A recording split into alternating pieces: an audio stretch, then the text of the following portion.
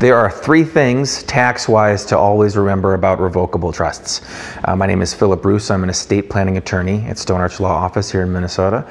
And, uh, and the first thing to remember about a revocable trust, a revocable trust, remember, it's, it's, a, it's an entity that's kind of like a Ziploc bag. You can put stuff in, you can take stuff out, you can change it, you can terminate it, you can do whatever you want with it. It's still yours. And what that means is, is there really aren't any tax consequences, but there's also no tax benefits. Number one, it has to do with estate taxes.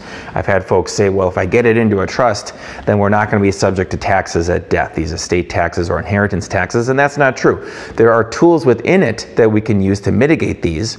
We can do that with a will as well. Wills go through probate, revocable trusts skip probate.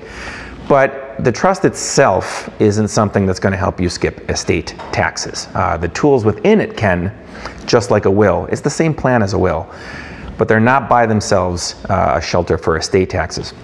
Number two, they have nothing to do with income taxes.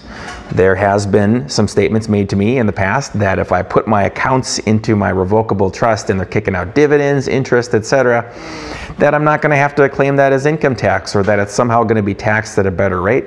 Not true at all. It goes right to me. It's still taxed under my social security number. It is a see-through entity. Nothing about capital gains, dividends, interest, etc. If I have a business in here or a rental property in here or something, that has nothing to do with any sort of tax benefits or consequences.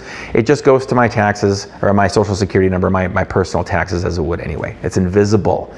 And, uh, and lastly, it has nothing to do with property taxes. Uh, sometimes there's a, there's a concern that if I take my home and I put it into my revocable trust so that my house will not go through probate. Real estate is the number one thing that causes probate. So if we can get that into a revocable trust, uh, oftentimes that's really our only thing that's going to cause a problem and we can fix it uh, with this trust planning.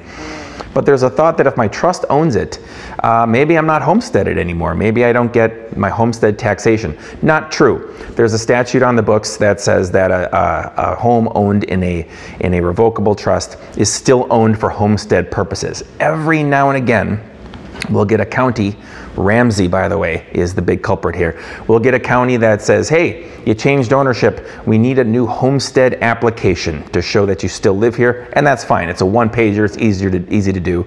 Um, but it doesn't change anything about your property taxes, your income taxes, or your estate taxes. I'm Philip Ruce at Stone Arch Law Office. If you have any questions, please shoot me an email.